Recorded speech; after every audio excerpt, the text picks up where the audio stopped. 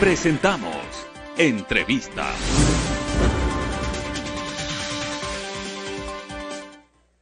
Amigos televidentes, a esta hora saludamos a Andrés Quispe, coordinador nacional de la Unión Nacional de Educadores. Bienvenido Andrés, gracias por aceptar esta invitación al diálogo. Entendemos que continúa la huelga de hambre en, en, los exteriores de la Corte Constitucional por parte de un grupo de maestros, por un lado. En las últimas horas pudimos ver también a algunos maestros desangrarse. Hemos visto cierres de vías en el puente de la Unidad Nacional, entiendo, en Guayaquil, donde se quemaron llantas, etcétera, etcétera. Eh, y una serie de acciones que han llevado adelante ustedes. ¿Qué esperan entonces eh, por parte de la Corte Constitucional? Bienvenido, buenas tardes. Eh, buenas tardes, muchas gracias por la invitación. Efectivamente, eh, nosotros los maestros, las maestras y su gremio, la Unión Nacional de Educadores, nos encontramos en una huelga de hambre. Hoy se cumplen ya 14 días de esta medida de hecho y en las manos de la Corte Constitucional y en las manos del gobierno está la vida de hombres, de mujeres que no solo son eh, profesores que están en la huelga de hambre, sino también estudiantes que están próximos a ser maestros y que ven que entrar al magisterio se ha convertido en toda una problemática por las políticas públicas que fija el Ministerio de Educación y el gobierno. También se han sumado a la huelga de hambre padres y madres de familia que buscan una educación diferente. En ese contexto, la huelga de hambre, el cierre de vías se mantiene ya que el gobierno nos ha obligado a adoptar esta medida. A propósito de la huelga de hambre, ¿cuál es la situación de salud de los eh, huelguistas en este caso? Porque vimos que en eh, días anteriores eh, me parece que un par de profesores fueron ya eh, llevados con problemas de salud a centros asistenciales. Pero ¿cuál es la situación médica de los que están en este momento eh, asumiendo esta, esta medida extrema? Bueno, en la huelga de hambre en, en, este momento se encuentran en la ciudad de Quito 12 eh, huelguistas y en Guayaquil se encuentran 17. En el transcurso de estos 15 días se han retirado de la huelga eh, de hambre alrededor de 11 compañeros y compañeras que por no ingerir alimentos se eh, han encontrado afectados en su salud y han sido trasladados de emergencia a distintos hospitales. Por eso es que señalamos que la responsabilidad de lo que pueda pasar con la vida, con la salud de nuestros compañeros y compañeras huelguistas será de exclusiva responsabilidad del gobierno y de la Corte Constitucional. La Corte tiene hasta el 23 del presente mes para resolver, pero hay que señalar que la audiencia pública ya se desarrolló el 12 de mayo y en la audiencia pública se demostró que el gobierno se quedó solo y que además la equiparación salarial es constitucional y tiene recursos económicos para ser financiada este y el próximo año. Solo en estos cuatro meses el SRI ha recaudado más de 6 mil millones de dólares, con lo cual está cubierto la equiparación salarial e inclusive la falta de medicinas en hospitales, pero no hay la voluntad política por parte del gobierno. Bueno, entendemos que la Corte Constitucional en las próximas horas dará ya una resolución en torno a este, a este tema. Eh, claro, y, el, y uno de los inconvenientes era precisamente de dónde va a salir el dinero, de dónde va a salir el dinero para financiar eh, este, esta equiparación eh, salarial. Eh, ¿Han tenido ustedes algún tipo de, acercamiento con, con autoridades del Ministerio de Educación?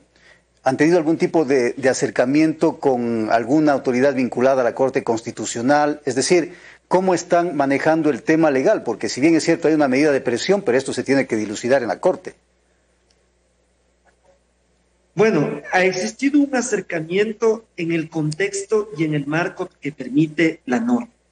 Ese acercamiento se puede señalar, se produjo el 12 de mayo, cuando el Ejecutivo, el Legislativo y los terceros interesados actuamos con amicus curiae.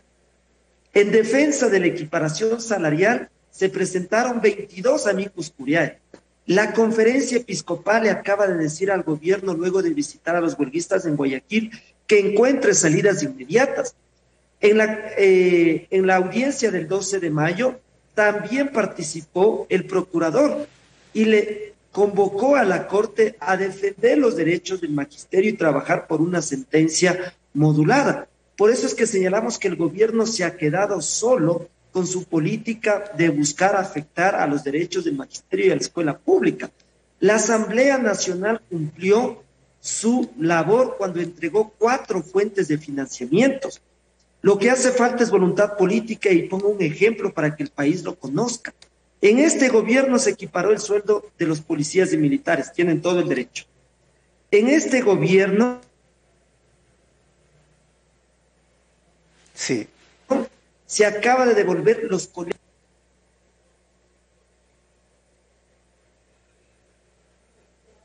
Bueno, tenemos, tenemos, tenemos eh, algún problema. sí, ahí está. El audio. Ahí está, ahí está, ahí estamos ya nuevamente con el audio, Andrés. Sí, adelante. Ahí estamos nuevamente con el audio. No sé si me escucha. Bueno, estamos eh, dialogando con Andrés Quispe, coordinador nacional de la UNA. No sé si me escucha ya en este momento, Andrés, ya para ir cerrando este diálogo. Sí. Ahí se recuperó el audio. Adelante, por sí, favor. por favor. Le decía que en este gobierno lo que hace falta es voluntad política, porque con este gobierno se equiparó el sueldo a policías y militares. Con este gobierno se acaba de devolver las instituciones educativas para que las Fuerzas Armadas los vuelvan a dirigir y se acaba de entregar la partida presupuestaria para la Universidad de la Policía.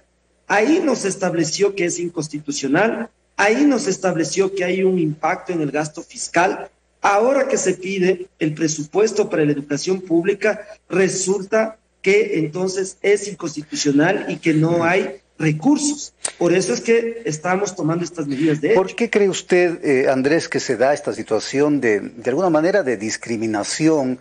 Con la clase de los, de los maestros, de los trabajadores, que deberían ser, digo yo, eh, deberían ser los mejor pagados en nuestro país porque tienen a cargo a jóvenes, tienen a cargo a niños que se supone son el futuro de, nuestra patria y, y, tienen una gran responsabilidad detrás de los maestros. ¿Por qué cree usted que hay? Porque no es una discriminación o una especie de discriminación solamente en este gobierno. Esto ya se ha dado anteriormente. Entonces, eh, ¿qué hay detrás de todo esto? Efectivamente, los docentes estamos discriminados desde el 2016. En el 2016 se equiparó los sueldos de todos los servidores públicos, menos del magisterio. Y por eso es que nos vimos obligados a elevarle a ley con las reformas a la LOI. Y queda demostrado algo. Hoy que se cerraron dos años las aulas por el contexto de la pandemia, todos vimos la necesidad de que si las aulas no están abiertas, papá y mamá no pueden salir a trabajar no hay una reactivación económica total, sino hay una reactivación de la escuela. Y si usted se fija, la canasta básica está en, más de 725 dólares.